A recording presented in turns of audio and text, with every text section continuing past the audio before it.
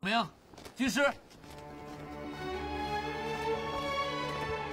军师，主公，我要的兵马战船都准备好了吗？早就备好多日了，只等军师调用。好。子龙听令，你引三千军渡江后，直奔乌林小道，在芦苇密处埋伏着。四更以后，曹操必从那里兵败。待见曹操败兵至，你点燃芦苇就势杀出。曹军即使不能全军覆没，也能杀他一半。遵命。翼德啊，你率五千军渡江后，前往夷陵葫芦口来。曹军被子龙杀过一场之后，必不敢往南面走，会往北夷陵奔逃。你就势杀出，就算擒不得曹操，这份功劳也是不小啊。得令了。糜芳、糜竺、刘封听令。你三人各率快船百只，不必攻杀曹军，只需绕江而行，擒拿败兵，收缴器械。我估计，你们定能满载而归。遵命。公子，刘琦在。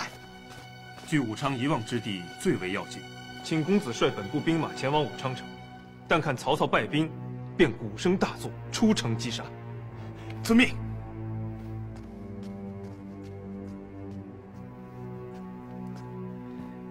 主公啊，你我前往樊口山上设下一席酒，居高临下看周瑜今夜建功。好极好极。军师，那我呢？哦，关将军啊，你哪儿都不用去了，在家歇着。关某征战多年，身经百战。每逢战事，从未落后。今日之战，百年不遇，军师为何视我为无物？云长啊，我我本想派给云长以紧要的隘口，但有些放心不下，故而不敢用。为何放心不下？请军师明言。曹操兵败之后，必然会走华容道。我如果派你去，怕你心一软把曹操放了，因此不敢派你。我为何要放他？曹操当年对你恩深似海，难道你就不想报答他吗？军师，你多心了。关某斩颜良、诛文丑、解白马之围，早已报答过他了。我们是恩断义绝，如能撞到，岂敢放他？如果私下放了，又当如何？军法从事。好，那就请关将军立下军令状。好，我愿立下军令状。如果关某私纵曹操，愿受军法处置。但是，如果曹操未从华容道而来，又该当如何呢？问得好。这样吧。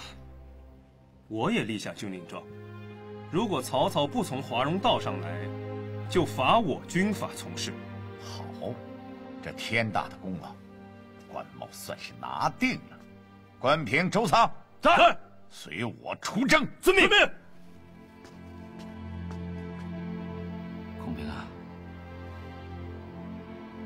关羽最重义气，我担心主公。我夜观天象。此役，曹操命不该绝。既然如此，这份人情就让给关羽，也是一件传世美谈呐。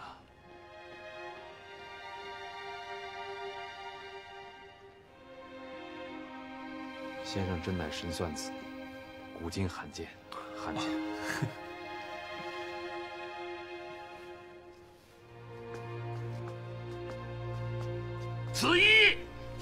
江东的安危所有将士要奋勇杀敌各部将领要身先士卒剿灭曹操。黄将军都准备妥当了吧只等大都督下令便要拔毛起航。好我用两贼的头颅为将军壮行。好。押上来走。走。走。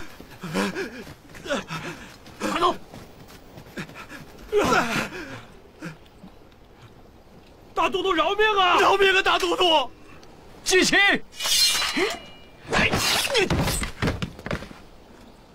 出发！出发！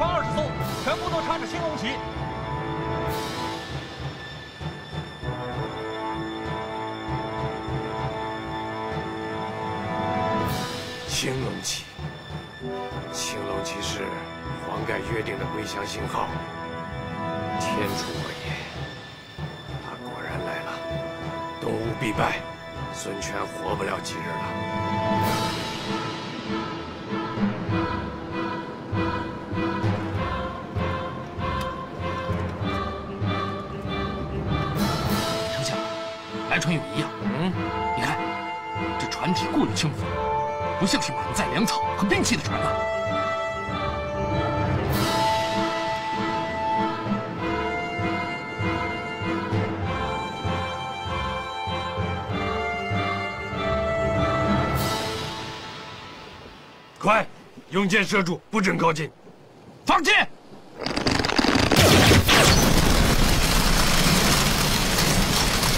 给我点火！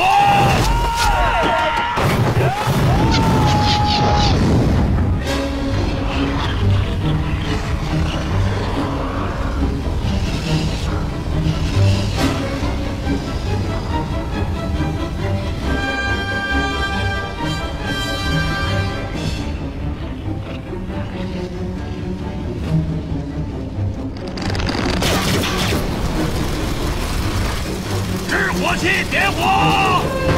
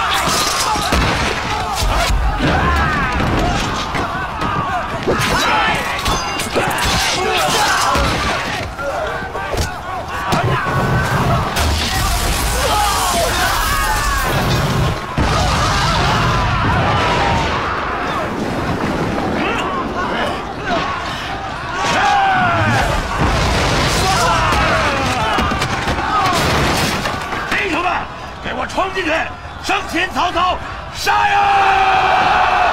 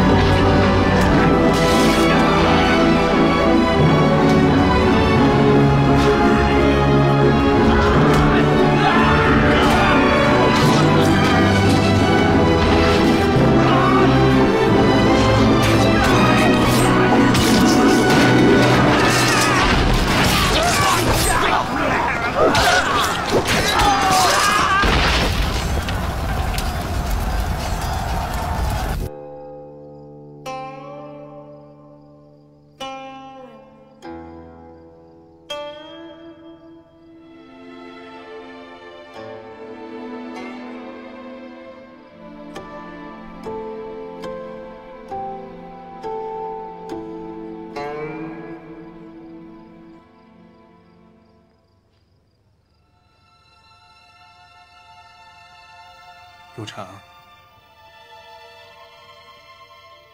我要你从远处的杀声中判断出三江口的战况。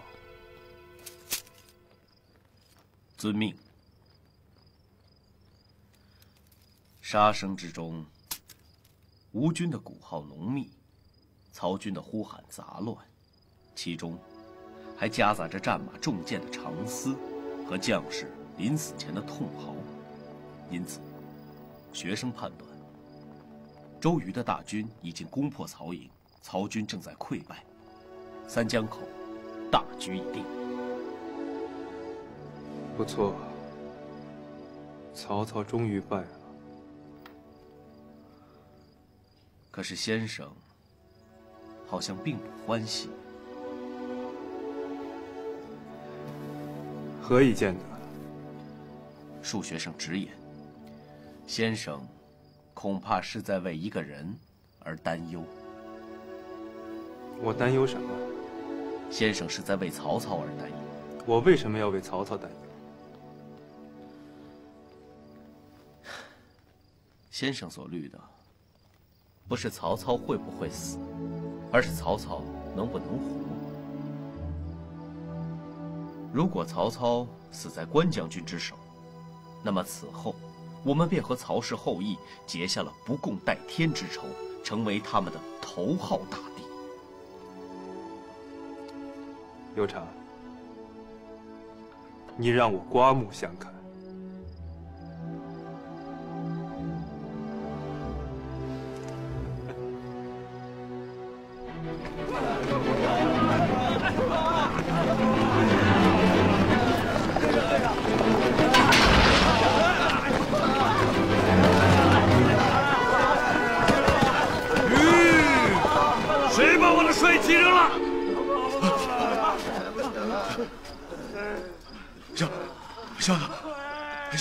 在扛不动了。你当了多久的长骑兵了？来！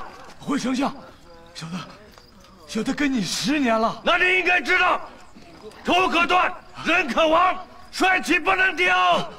小的，小的知道。胜败乃兵家常事，失败并不可怕，可怕的是心气儿败了。这是何处？丞相，乌林之西，宜都之北啊。丞相为何发笑啊？我笑，我笑周瑜无谋，诸葛愚蠢。为何？你们看，此处山势险峻，乃兵家生死之地。如果能在此处预先埋伏一支伏兵的话，我等插翅难逃。这回虽然他们侥幸取胜了，不过是一介匹夫书生耳，不足虑，不足虑。撤！赵子龙奉军师将令，在此等候多时了。丞相，快走！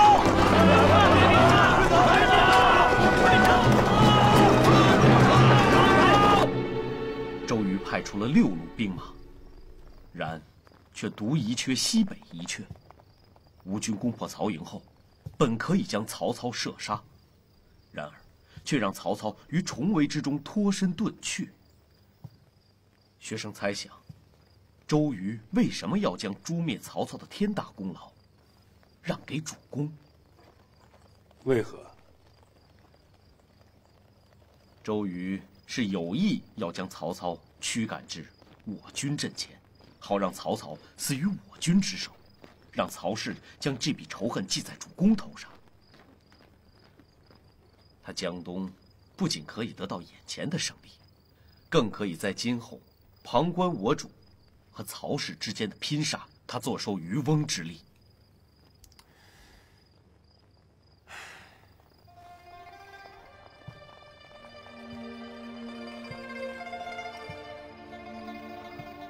先生，我说错了吗？不，你说对了。有常，想不到你未见周瑜，竟能看破周瑜心计，这营中怕是找不出第二个人了。谢先生夸奖，但你并没有道出我们真正可忧之处，却过于喜悦。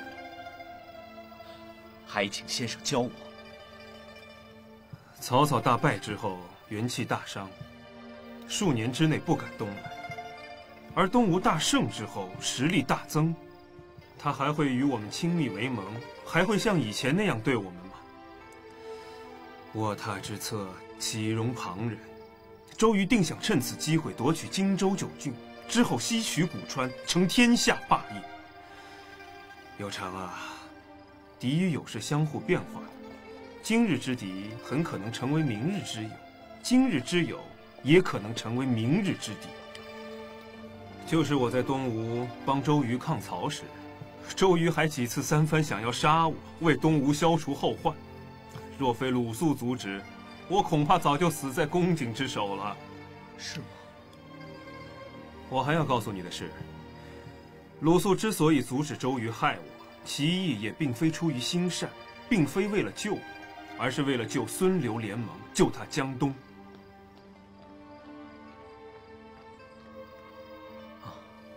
学生醍醐灌顶，大梦方觉。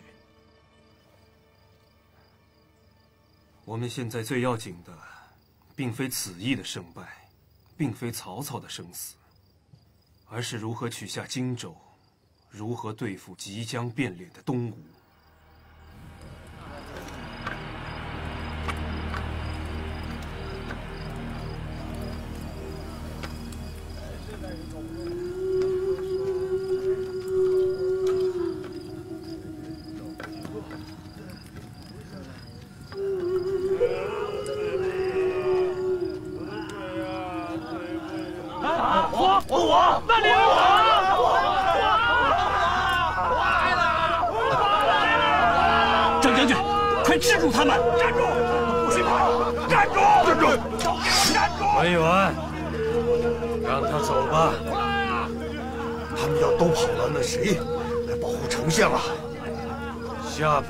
的军士，再多也无用。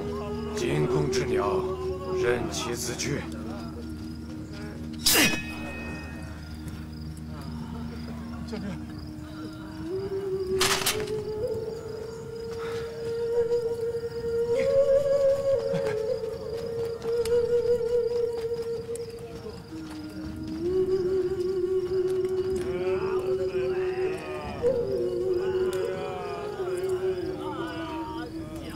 走的都走了，丞相，还有二十七个人。苍天厚待啊，还给我留了二十七个人。想当年，我行刺董卓未遂，披马逃出京城，东躲西藏，何其狼狈！可是短短几年功夫，我就擎起了一面王旗，招募了猛士百万。到今日，竟然还有二十七个忠心耿耿的将士。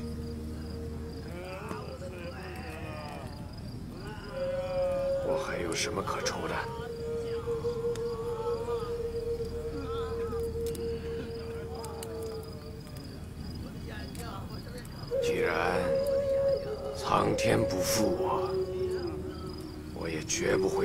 这片苍天的。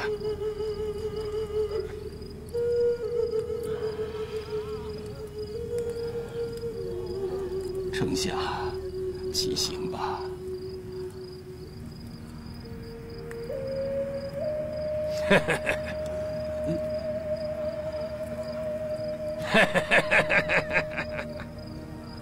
丞相，刚才大笑引来了赵子龙，现在又为何发笑？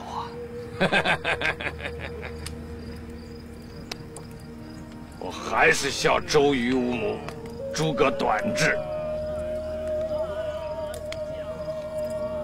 你们看此间地势，宛如一只葫芦口。如果是我用兵，必定会在此处埋下一支伏兵，不许多，五百铁骑足矣。我等必死。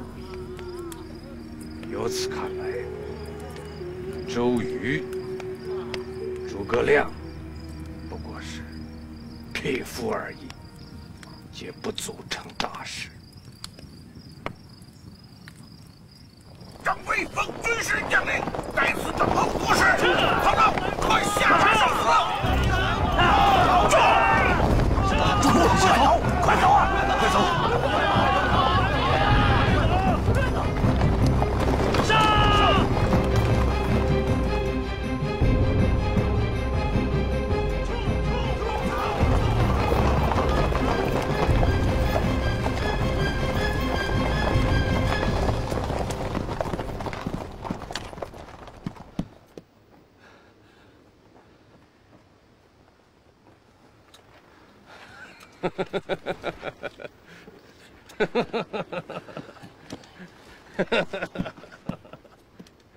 丞相头次大笑，引来了赵云；二次大笑，引来了张飞，几乎使我们丧命啊！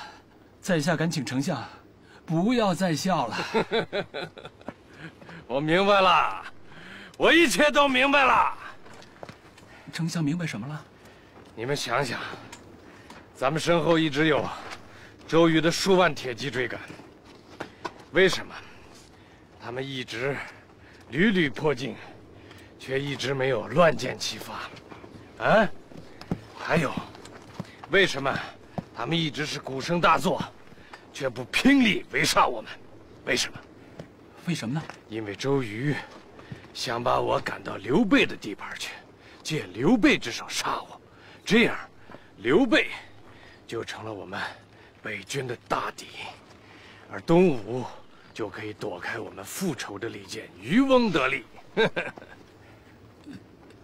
可是赵云和张飞也是只劫而不击呀，他们只顾掠夺兵器和马匹啊。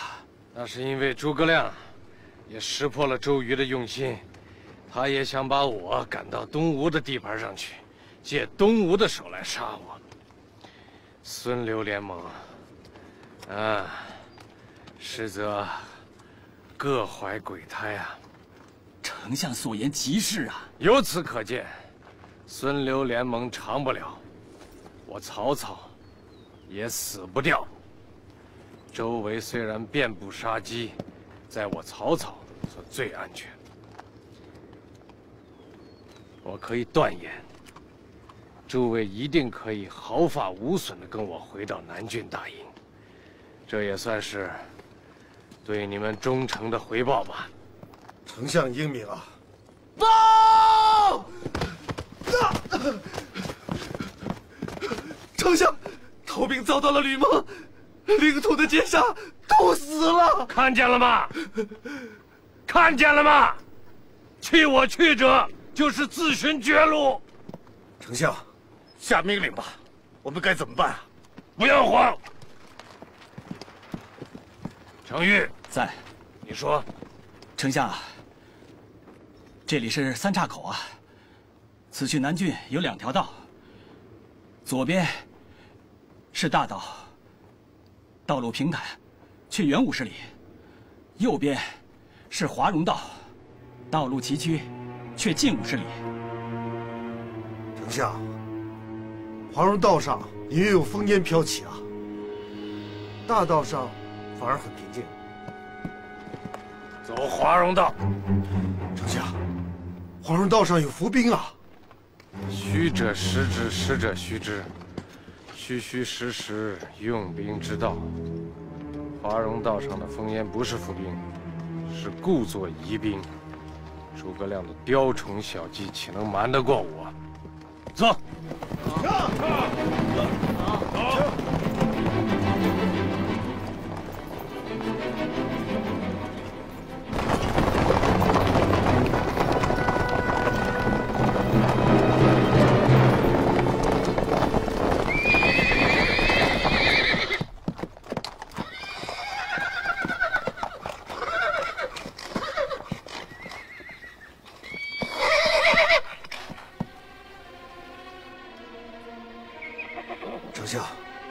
何不走了？丞相这批火焰驹极有灵性，遇到猛兽大虫或是敌情，就会地命报警。嘘，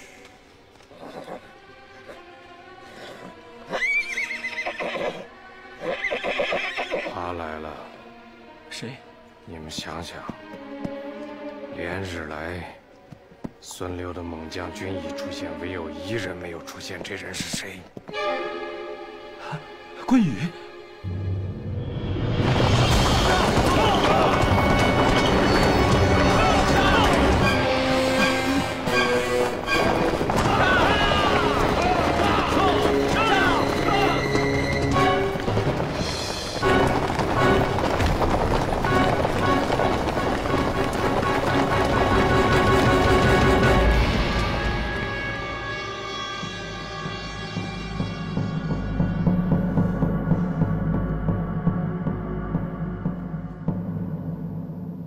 见过丞相。将军，别来无恙。在下尚好，禀丞相，关羽奉军师将令，在此专候。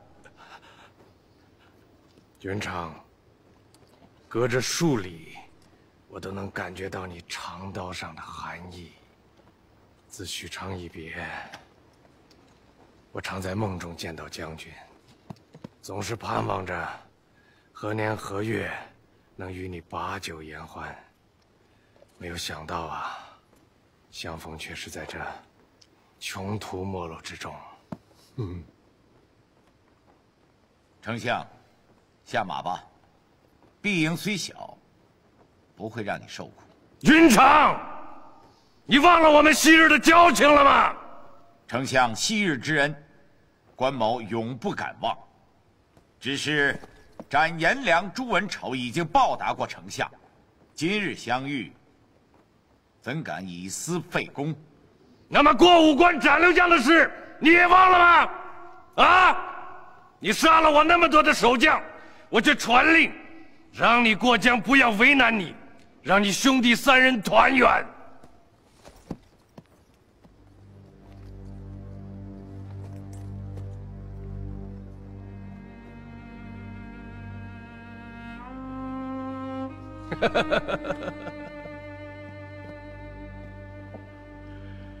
云长，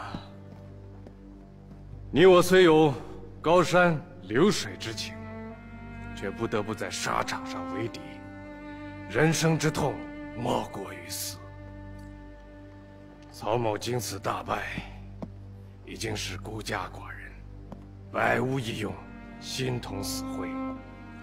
不过，你要听我一言。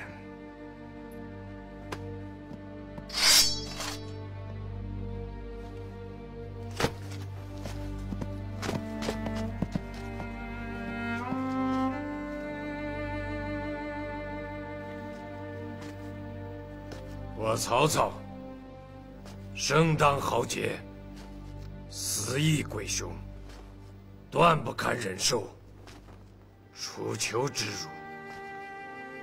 如果云长念在昔日的交情份上，请执此剑斩我头颅。啊，丞相！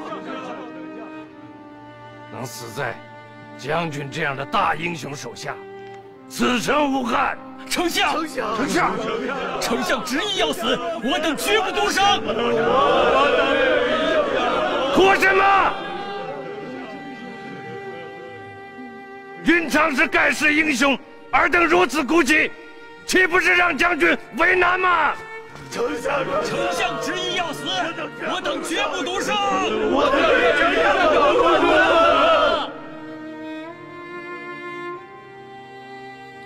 云长。我知道你心里不想杀我，但是君命不可违。你杀我，我不怪你。九泉之下，含笑相望，等着与你把酒言欢。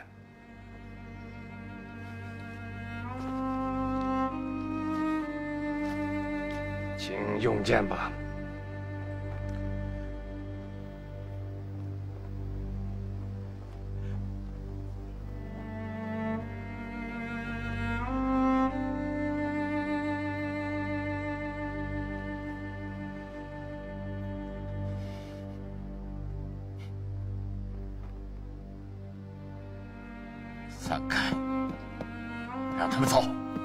父亲，你列过军令状呢？散开！快散开！全军散开！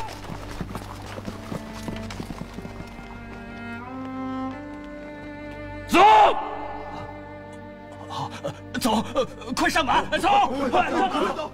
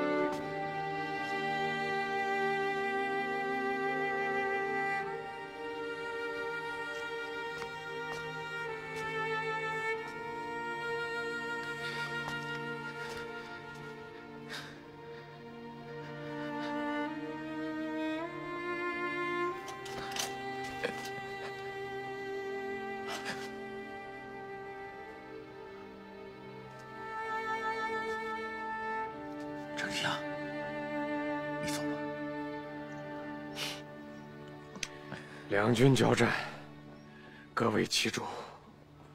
我走了，你怎么办？刘备和孔明不会饶过你，就算他们饶过你，江东的周瑜和孙权也不会依你。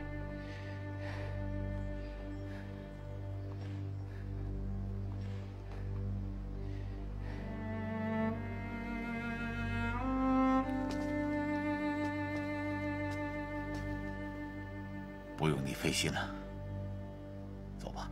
我不能走，轰得走，诺。我不能走啊，云长。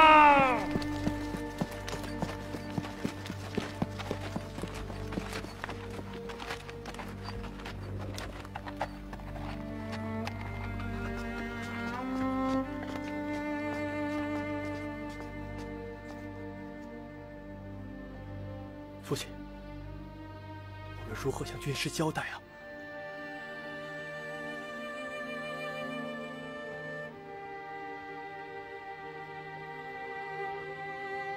我会给他个交代。将军，不可！将军，不可！父亲，万万，不可！父亲，无影，练尽军师。将军，父亲，父亲。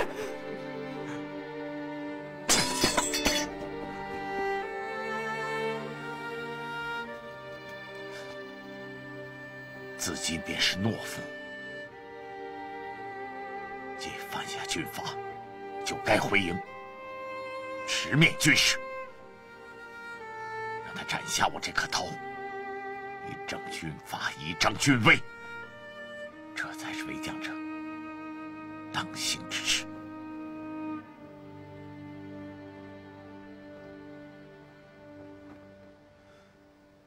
回营。